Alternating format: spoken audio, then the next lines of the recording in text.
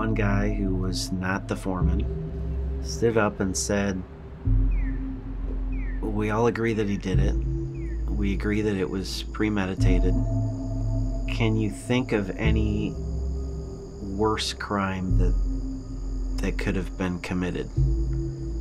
It was a six year old girl who was taken from her home and brutally killed. And we all agreed on that. And then he said, Well, if this is the worst crime that's been committed,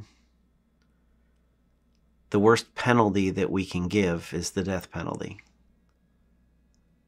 Don't you think this is what this case deserves?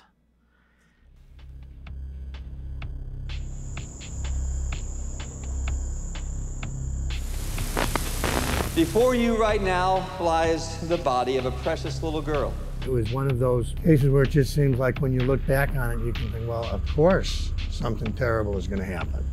This is like a formula for disaster. It is probably the most devastating case I ever handled. I mean, it, I'll still just in moments, you know, think about it, reflect on it.